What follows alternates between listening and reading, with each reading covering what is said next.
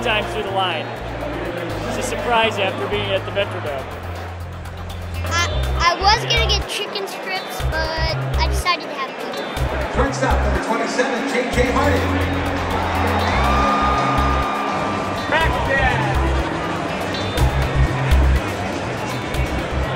He's got to meet all our new neighbors. We knew everybody around us in the old stadium. We got a new neighborhood.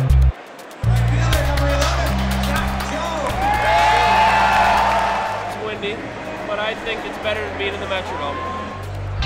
Next year this could be a snowstorm, but Oh, it's where tonight baseball's it's meant to be played.